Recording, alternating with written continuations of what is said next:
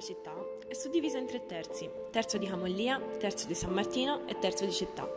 Durante il nostro percorso abbiamo visitato tutti i tre terzi, individuando una contrada ed un palazzo su cui approfondire. Il terzo a cui appartiene il palazzo di cui andremo a parlare è il terzo di San Martino, composto dalle contrade Civetta, Leocorno, Nicchio, Torre e Val di Montone.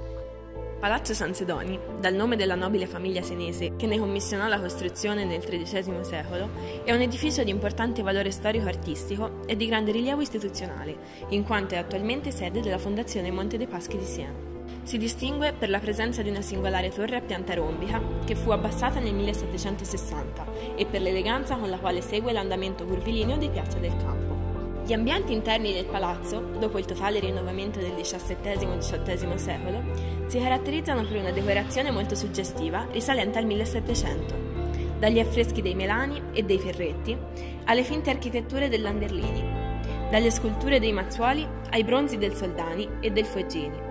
Importante è la presenza della cappella del Beato Ambrosio, decorata con marmi preziosi provenienti da tutta Europa, che rappresenta uno dei maggiori episodi barocchi nella Siena del tempo.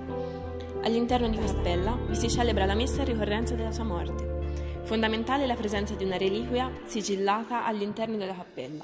Nel nostro percorso abbiamo attraversato l'anticappella, simile ad una sala da ballo barocca, affrescata sul soffitto con una tecnica prospettica data dalla posizione di colonne dipinte. Nella stanza sono anche presenti statue di marmo grezzo.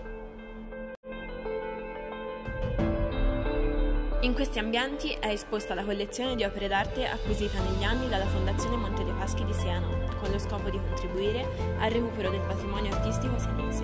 I dipinti di notevole pregio illustrano in modo cronologico e ragionato tutte le fasi salienti della storia dell'arte senese, partendo da capolavori del XIV secolo fino ad arrivare all'epoca contemporanea.